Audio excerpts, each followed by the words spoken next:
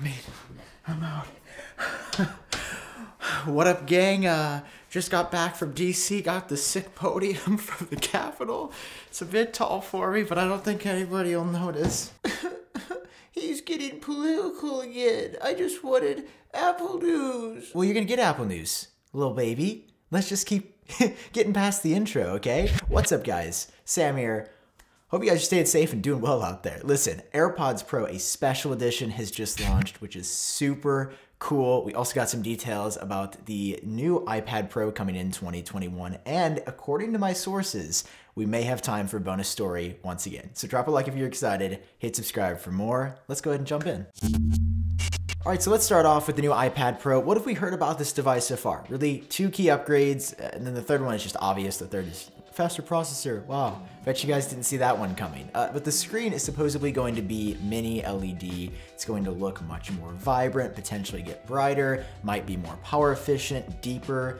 Uh, beautiful black levels in comparison to the LCD display, and we're also hearing 5G is coming. Design-wise though, we're hearing it's gonna look pretty much the same. So for anybody hoping for a radical redesign, I mean, the iPad Pro was the first of any Apple device to sort of get more squared off rather than rounded, and everybody seems to be a fan of that, so I don't think that's changing anytime soon. Expect the same dual camera apparatus on the back. It's still gonna have a LiDAR sensor. Really, the only thing we didn't know concretely was exactly when this iPad Pro is coming. And now, courtesy of my friend and pal, fellow leaker Jon Prosser, we do. Jon has confirmed that he expects the iPad Pro to be dropping sometime this March, which perfectly lines up with the first quarter predictions that everybody else has been putting out, and lines up with what uh, Apple did last year. Like they, they announced the new iPad Pro and actually a new MacBook Air in March of 2020. So it's a safe bet for this year. My biggest question is whether or not this is going to be part of a March event. We'll be talking much more about that in the coming weeks, or if this is just going to be a standalone release like it was in 2020. Jon himself is the only person so far that has said Apple would be holding a special product unveil in March. Initially, it was supposed to be for AirPods Max, and then the dates got flipped around. So we're thinking leads us into our next story, that uh, this iPad Pro alongside AirTags will be announced at this March Apple event. We're still talking about AirTags, yes, even after the video we saw the other day. After months and months of this, no, they're still not out, but accessory makers are gearing up for a launch in 2021. In fact, uh, Evan Blass, a longtime famed leaker of Apple and Android alike, has shared some images of some Nomad stuff that is in the works. They are preparing, this is all internal and supposed to be confidential, two accessories so far. One is just a standard leather carrying case, and you can see they have a square design. The second one really interesting and gets me excited about the future potential for AirTags applications and use cases is a, a glasses holder. So you, you've seen these before. It's like so you can put your glasses like around your neck. So Nomad is working on one where the AirTag would, I think, either go on the inside on the front or in the back, and they show a circular design. Now you might say, that's kind of weird, right? Like, why are they showing two different designs for AirTags? I have a theory that lines up with something we heard a while back for AirTags. Love to Dream best friend and famed Apple leaker said a while back that Apple was working on two sizes for AirTags, small tag and a big tag. Okay, interesting, right? But they're both gonna be the exact same size. Yeah, I think so, but maybe not. I mean, if you look at what Tile, you know, arguably the most famed application of tracking accessories so far, do they have one size? Or even two sizes? No, they have a, a, wide myriad of different things you can choose from on their website. So with Apple getting into this market fresh, it would kind of be, I don't know, bad, but maybe put them at a disadvantage if they only had one consumer facing product of one size and one specific use case rather than two or two different applications. So potentially, I think we could see a large tag and a small tag maybe looking different. And maybe all we've seen so far is the smaller circular tag. Uh, interesting, maybe this thing from Nomad means nothing.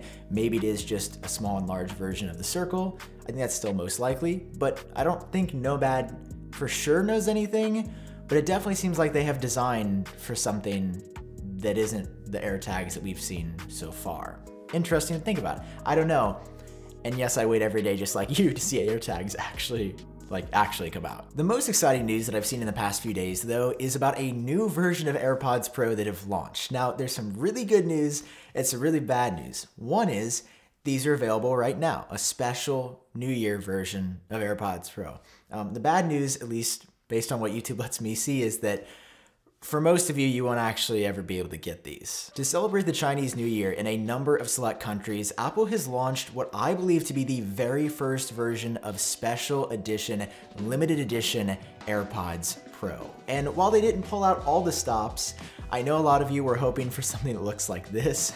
Trust me, you, you guys will be the first people in the world to know when Apple does colored AirPods because this has been something I have been dreaming about for years. Like I am the number one colored AirPods Pro stan here on YouTube and no, they're, they're not like this yet. However, there are some special features here. First of all, there's unique packaging that appears to have a special Apple logo on one side, and on the other side, there is the Chinese New Year ox icon. I believe it is the year of the ox celebrating that. So Apple said, well, what if we sort of put this in AirPods Pro? But of course, the packaging would just be like, okay, you have a special box is that actually going to drive any incentive? In addition to that, Apple has painted a custom Animoji slash Memoji Ox character on the front of AirPods Pro, and it looks pretty slick. At first I was like, oh, you could just do this whenever, and then I realized uh, if you go to like the US configurator, you actually cannot get this variant of this character. It's like a special one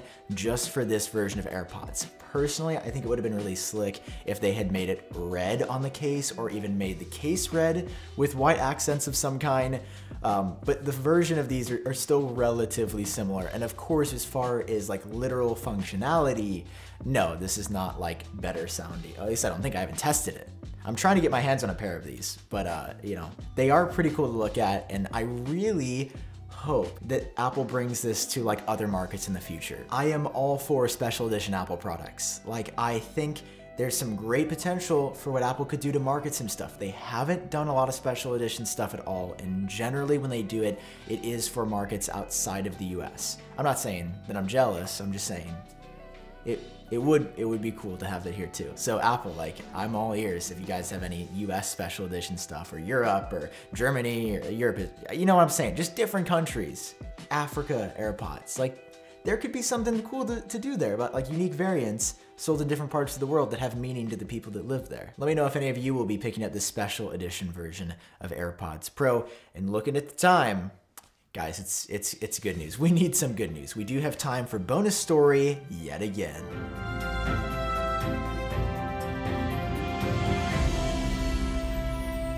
All right. You guys ready to roll with me on this one? You guys ready to start your engines because the Apple car is coming.